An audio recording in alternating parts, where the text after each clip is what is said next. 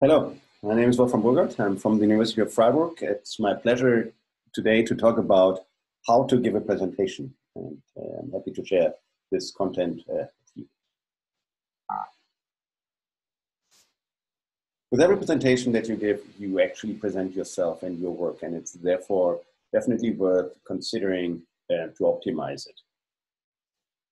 This talk will be about um, two aspects, mainly the slides, uh, the uh, styles that you should actually consider.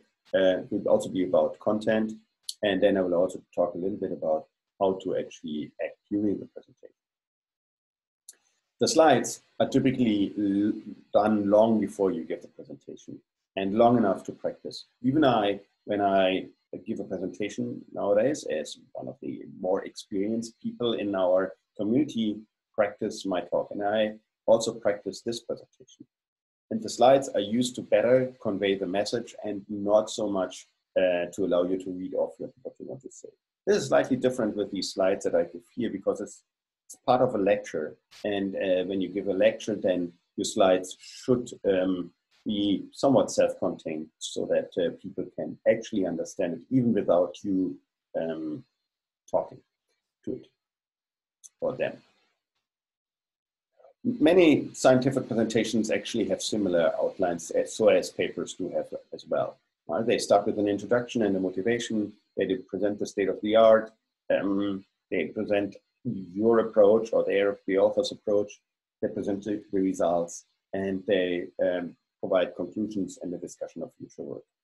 Um, because such a table of contents appears in virtually every presentation, particularly when your presentation is short and you need to save time, I might consider uh, uh, omitting something like this.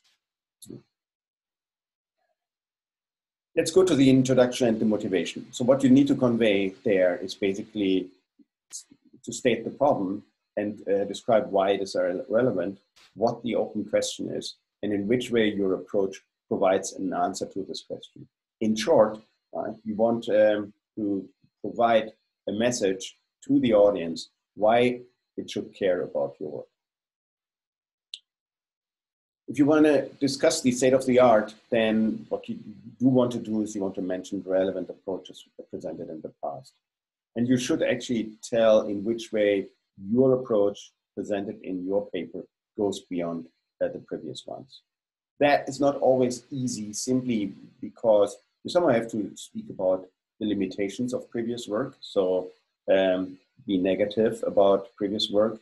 At the very same time, you want to also be uh, inclusive and basically present other people's work, which uh, might uh, make them happy. The former part might make them unhappy, and you need to find the right balance there. When it comes to your approach, then uh, the, the goal is not to present to the audience uh, that you have skills, not necessarily. Uh, so what you actually want to do uh, is you want to let the audience understand your work and uh, also understand what is so innovative and great about it. So what you need to do is you need to provide the audience with the technical details, but equally important is the intu intuition behind your approach. And I usually prefer graphics and or examples to explain the technical details and the intuition. Come back to this in a minute. For example, here, this might be an algorithm, or this is an algorithm that uh, actually is from, from one of my papers explaining such an algorithm as it is here to the audience will be extremely difficult. And it's very unlikely that uh, the majority of the audience will grasp the idea behind this algorithm. So it's way better to describe the idea, give examples uh, to describe how it works, design the examples in a way that they cover the relevant features of your algorithm and to provide the audience in this way with the intuition behind the algorithm. If you can, in the end, then come back and briefly explain how the algorithms works, given all these examples, that is fine. Um, but in, in principle, I prefer being able to understand what is being presented rather than left out simply because uh, it is too complicated. The results section should actually back up your claims. They should demonstrate that your approach has the desired features that you mentioned in the very beginning. And they should definitely also demonstrate that your paper is an advancement over the state of the art and that it is better than previous ones and in which way it is. The conclusions um, typically are designed to summarize the contribution of the paper again, um, and it should also um, provide again uh, the key ideas of the work. And it is also an opportunity to, in the very end, to speak about potential limitations and um, potential future work that might be done to even further improve upon it. Let's talk a little bit about outline um, and, and, layout. So it's typically recommended to use so-called sans serif fonts um, instead of serif fonts. Serif fonts are fonts that actually have lines at the very bottom of every vertical line, or horizontal lines at the very bottom of every uh, vertical line in order to guide the eyes while reading. They were designed for newspapers and dense text, and because slides shouldn't contain dense text, uh, it is not needed to actually use uh, serif fonts. Also, I prefer uh, dark text on light background um, and uh, also left aligned text instead of center text. And avoid putting too much uh, on one slide, like on this one over here. This is a Times New Roman uh, slide, version of that slide with the serif font, and here you can basically see the uh, individual guiding line, the, the, lines guiding the eyes. And for uh, the short text that we typically have on slides, it's actually not needed. Here is an example of um, white text on dark background. Uh, so colors need to be very, very carefully chosen, as you can also see and on this slide. Uh, and it's often recommended to actually check the readability and maybe ask others uh, as to whether they can uh, read the slides because different people have different perception of colors. And particularly red and green are often hard to tell apart for many people and this is uh, why it is difficult or it's not recommended to have, for example, red and green lines, even intersecting ones in plots. Text size, make sure that everyone can read the text. Um, and um, my recommendation is to actually look at the room beforehand or try ask for the, the dimensions of the room in order to understand how far people sit away and also ask about the size of the projection so that you can actually understand what the minimum font size is uh, that, that you can um, use, making sure that everyone can read this. So, uh, so the smallest uh, size letters that everyone can read. And uh, that is relatively important. It doesn't make sense to have uh, text on the slide that cannot be read by, by people in the audience. Abbreviations is another and a topic that I often um, experience. While abbreviations like SLAM make it much easier to or faster to talk about things like, instead of saying simultaneous localization and mapping always.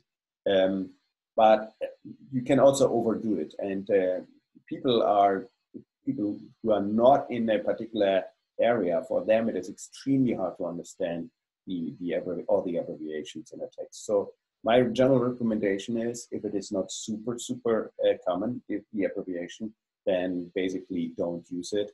Um, they might feel you like being an insider, while they might uh, likely make a larger fraction of the audience feeling like an outsider. So um, my recommendation is um, don't use uh, abbreviations unless they are very, very common, and in particular, you don't use uncommon ones in titles. Figures, uh, that's also um, surprisingly often. My recommendation is to prefer vector graphics over images and pixeled um, images. When grabbing an image from the, the source paper or a source paper, make sure that you do this at the highest possible resolution. And uh, when you can't see the individual pixels on your computer screen or the LCD screen, then consider re doing that picture. So here's an example of a low resolution picture where you can actually see the individual pixels from that screen grab um, on in your presentation. And if you go for a high resolution one, then uh, it looks actually much nicer. So the second question is also to, to how to um, do plots. And here's uh, also a plot from one of my uh, previous papers. And um, what you can see here, first of all, is that colors uh, help a lot uh, disambiguating between individual curves. Although even here we do have the problem that this greenish one and the black one are hard to tell apart. So uh, the advantage here is that they're ordered in a way they are plotted as well so that you can easily make that association. So take every effort to avoid ambiguities in, in your in your graphics and it's just uh, mention one of those. Animations, um, typically animations can be useful uh, for explaining content and also for illustrating processes. Um, animations are not made to entertain the audience, um, or they can even sometimes distract the, the, the audience. And uh, also not a fan of uh, line by line text any animations. Um, generally avoid demonstrating that you know every feature of your presentation tool and uh, don't overdo it with uh, animations. Spell checking, yes, this is something uh, that I also keep observing. Um, in fact, your computer can do spell checking for you. Use it. And um, usually it uh, underlines um, the wrong words with red lines and um, telling you that this word might be potentially uh, wrong. And um, the precondition for this is that the language of the slide needs to be the language that you are using, and then the spell checker can do uh, a, a, proper job. And uh, and here you actually, it cannot do like detect all failures, but uh, modern ones are a little bit better to actually also check grammar, but uh, at least do this. It's not a sufficient condition that uh, your presentation is free of errors.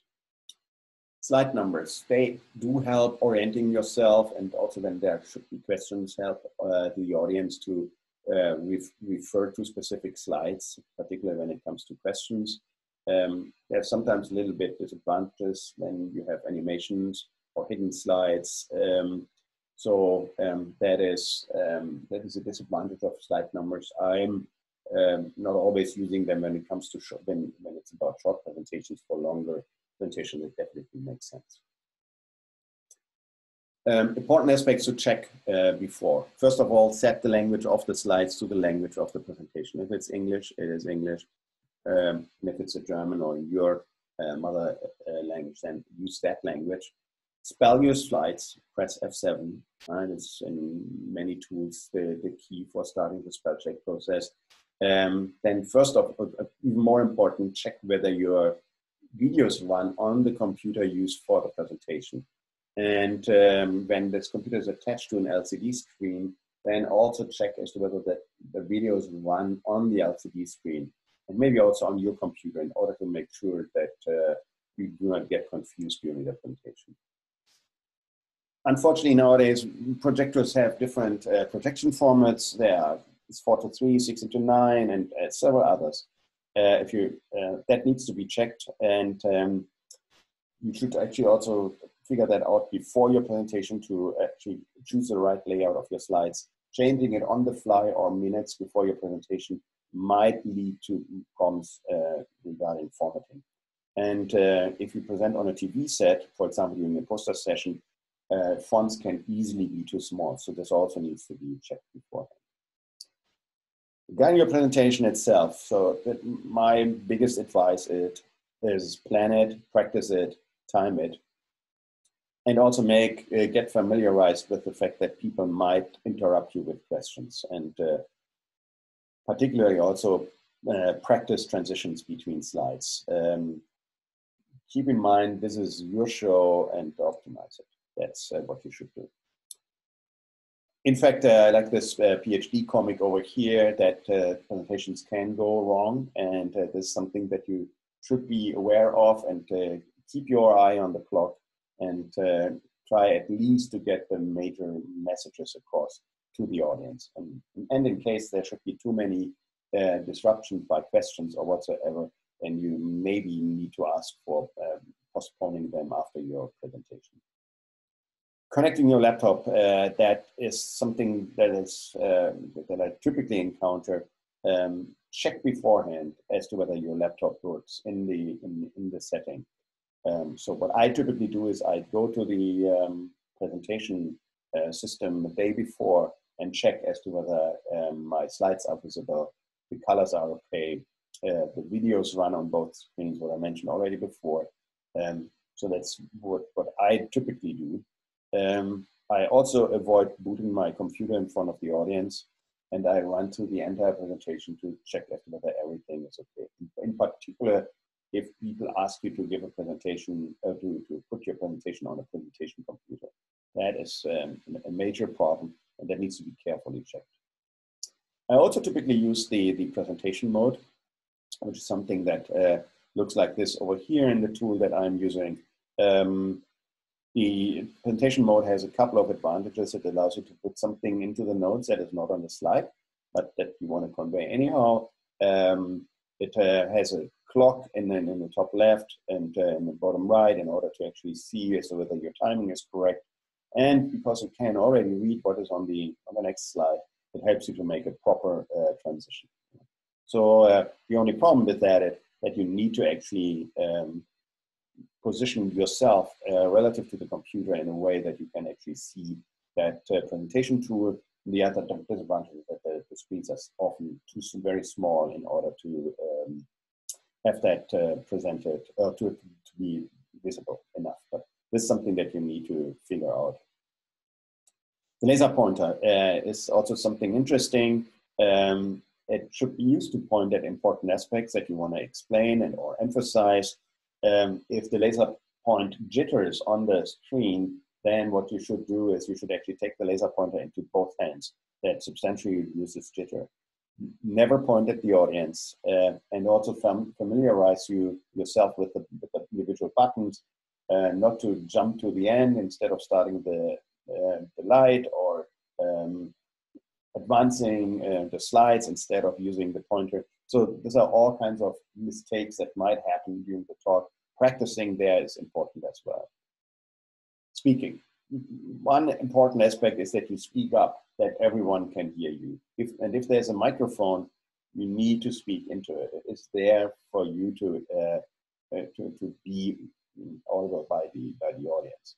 Do not lower your voice simply because there's a microphone and uh, get familiar with the fact that you can hear your voice through the speakers and only if you, you hear yourself and also the audience hears yourself.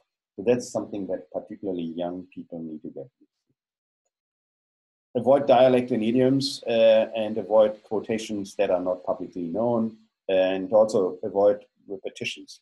Maybe if you realize that you keep using the very same word over and over, look for alternatives or synonyms. And, um, avoid also hesitation words like um, well, yes. Some people finish every slide with okay, okay. Make sure that you can be seen. So position yourself on the stage um, that you that people can actually see you. Try to avoid standing behind a podium where people can only see your head and uh, so try to be more visible. Then by yourself, you should actually try to establish contact to the audience. Do not focus the computer screen. Do not look at the ground or into a corner. Um, also, don't turn around and look at your at the presentation screen. So you should actually try to uh, have a setup where you can actually point to things on your screen without the need of, of turning around. Uh, do not hide yourself behind the lectern. Uh, do not stare at the screen. And do not simply read off the slides. And uh, also don't put your hands into your pockets. Drinking, that's also something that I've always asked myself. Uh, do you really need to drink water every 10 to 20 minutes? So uh, I think um, I can easily survive without that. And uh, if you think that it's going to be too hard for you, uh, then have a glass of water ready. Um, some people find it um, impolite if people drink out of the bottle. So that there's also an issue to be considered. how to dress. Uh, yeah, first of all, it is definitely not the most important aspect of your presentation, but with your the way you dress, you also send a message um, to the audience uh, that you actually care about them. My experience is that it is easier or more comfortable to feel overdressed rather than underdressed. Um, and uh, in, if you really are uncertain what to dress, then ask your advisor questions and interruptions. So uh, first of all, the most important thing is uh, think positive. People um, are um, expecting, uh, or people want to interact with you, and the questions show that people are interested in your work. The worst case actually is if no one asks the question.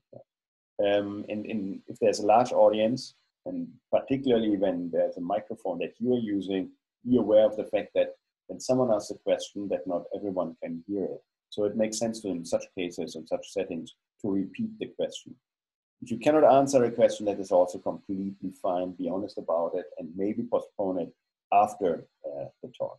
And um, same with when uh, um, it would be, answering a question would be too long. Um, and also, like, do not worry if someone in the audience falls asleep. We all travel usually from far away to conferences and easily can encounter a jet lag and get really tired, even when there's, a, there's an interesting talk. So as a summary, a talk is a unique opportunity to present yourself and your work. Uh, therefore, you should prepare it carefully, practice it extensively, avoid being late with your presentation, and uh, avoid not being prepared. I hope that was useful, and uh, thank you for your attention.